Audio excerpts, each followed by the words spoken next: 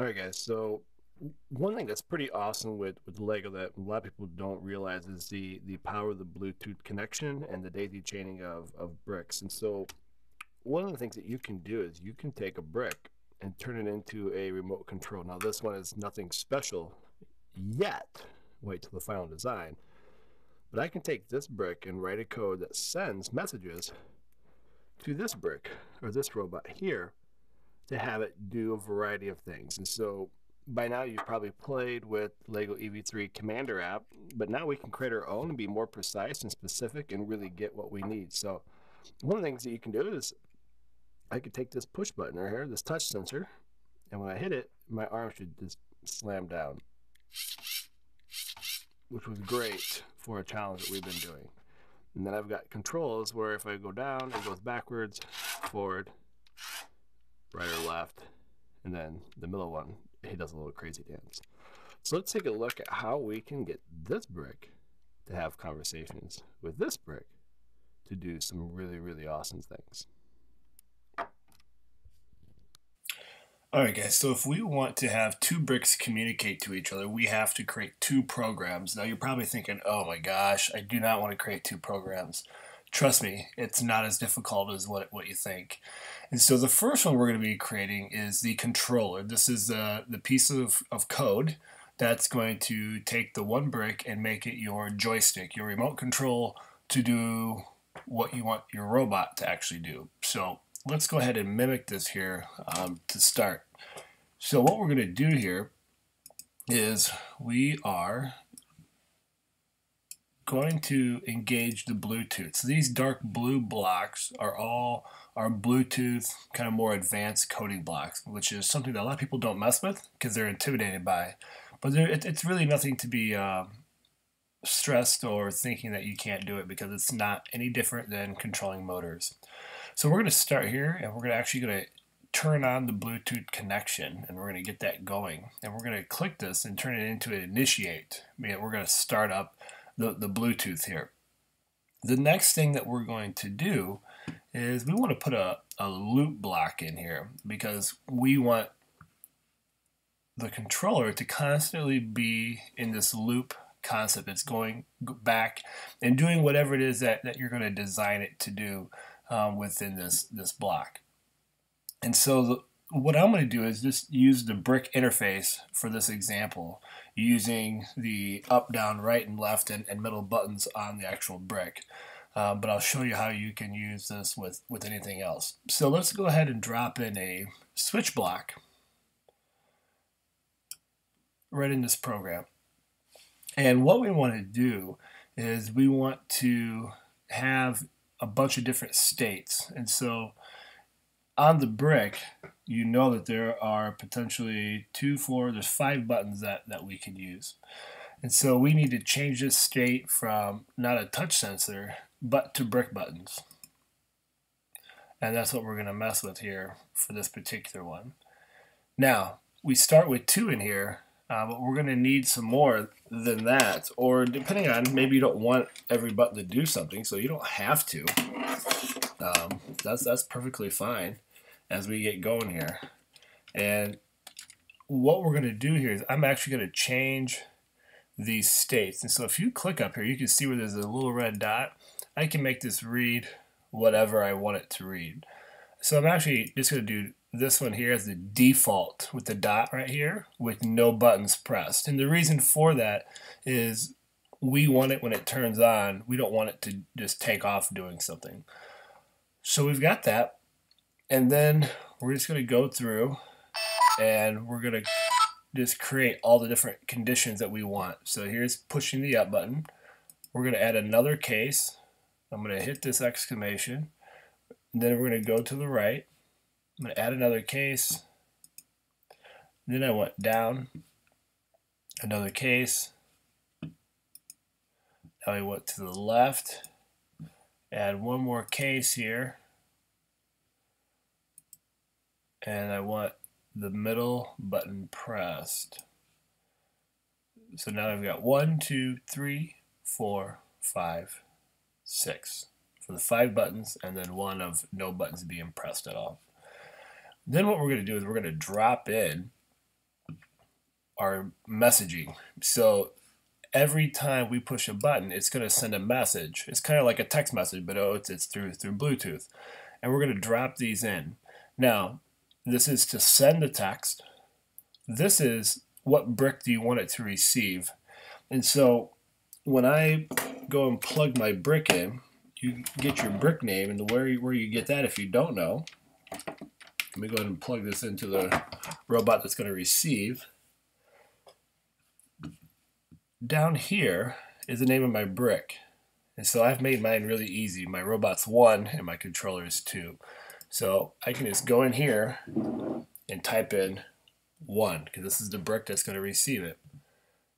And then I'm going to go ahead and do that for the rest of these. I'm going to make these all one.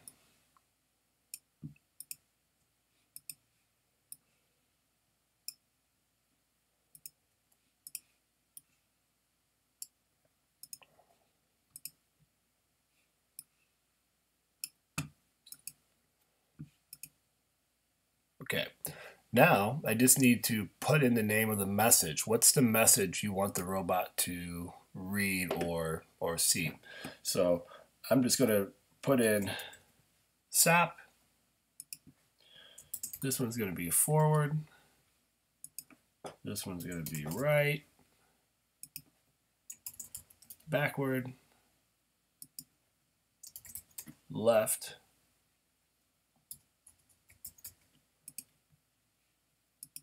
And then gonna call this one fire. And that's it. So what this program does is every time I push the button on the brick, it's going to send a message to brick one with this name.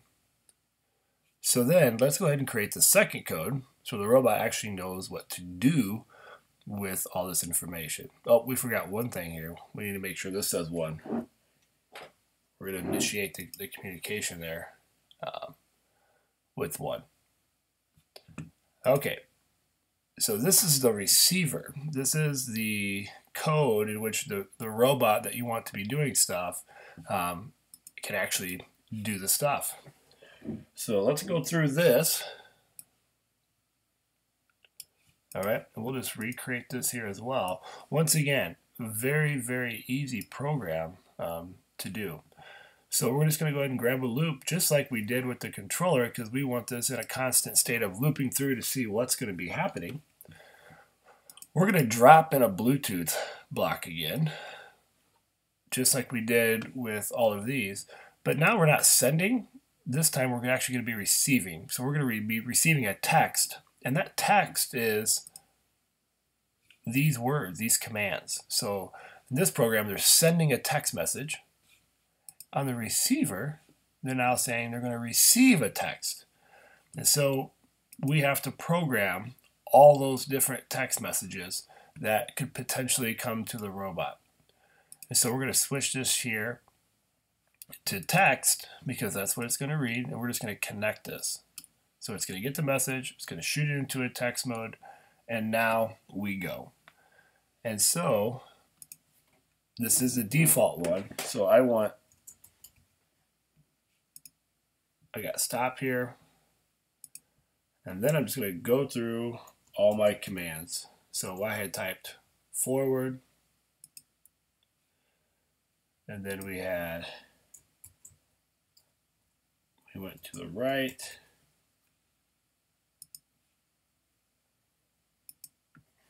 I had backward. Left.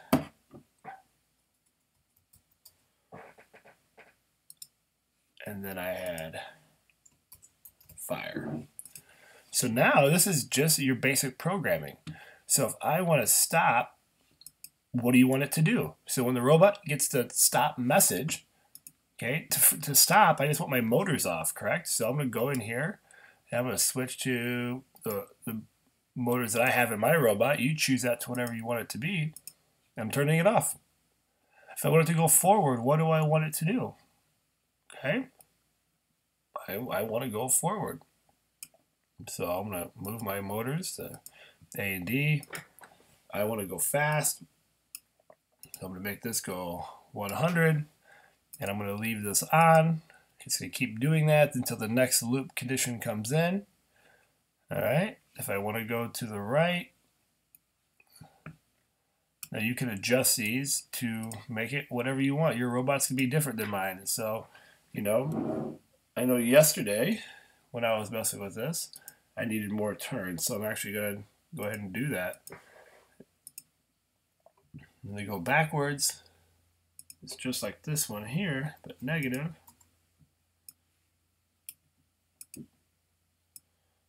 Drop that in.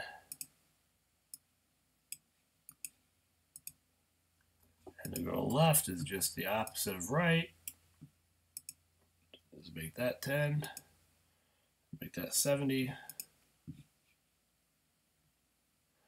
And then the fire, what I have here is I have one motor. And so, as you saw at the beginning, so I'm just going to go ahead and turn that on. I'm going to go um, rotations. And for me, just because I already know what it is, I know what I want. You dial that in depending on your arm. I can't I can't predict that for you.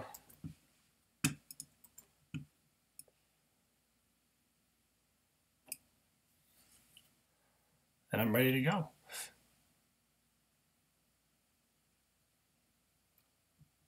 Okay. Now, one last thing that you could do, if I go back here to the controller, check this out. What I didn't put in originally is I have an extra data wire that goes down here because I can start to create some more advanced controllers and, and joysticks and things of that nature. So check this out. I can go down here and I can create another switch right here. And I can actually do this with the touch sensor. I can do this with, with any sensor that I want. And this is where I can't wait to see what it is that you guys are going to create because you're so smarter than me. Um, and your creativity runs wild. And so I'm gonna, just going to go down and connect this here. Oh, I thought I was. Let's try that again here.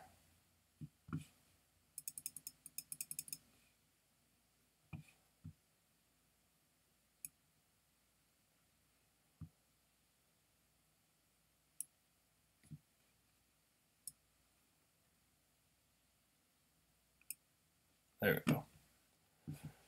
All right.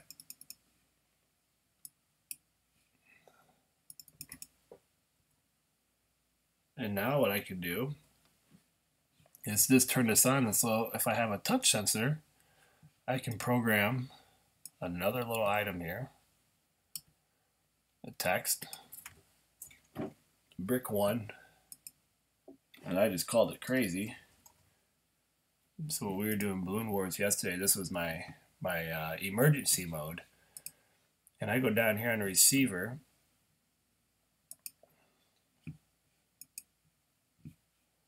And you can see I can just add another condition here. Another case. These are all text messages, so I don't have to do anything different here. And I can just call this crazy. And what I was doing was yesterday, what we were messing around with, we were having some some balloon battles. Um, I just had my robot spin around like crazy, man. And I can have this negative 100 and 100. So that would just cause my robot to spin. But you can do this with anything. So in your controller, you could drop in motors, you can drop in anything you want. So I'm turning a motor, I can actually put a wheel on a motor sideways and make that my joystick. I can do stuff with the ultrasonic. Any those sensors like we've been doing, you can have it send a message and program it to do whatever you want and create like your true arcade video game console. So here it is, guys. This is how to create Bluetooth program to control your EV3 brick. I can't wait to see your designs, ideas, and, and creativity. Let's make it awesome. Have a good one. All right, guys. So the very last thing to go ahead and run your programs. I know it's probably a little hard to see, but once you have them downloaded in your project, your brick that you want to actually do all the moving, that's your receiver, whatever you've called that receiver. So you go ahead and run that. You can see that it's it's going there. On your controller, you then want to run that controller command, whatever you name that. And then once they're both going, then you're in business. About as simple as you can possibly get.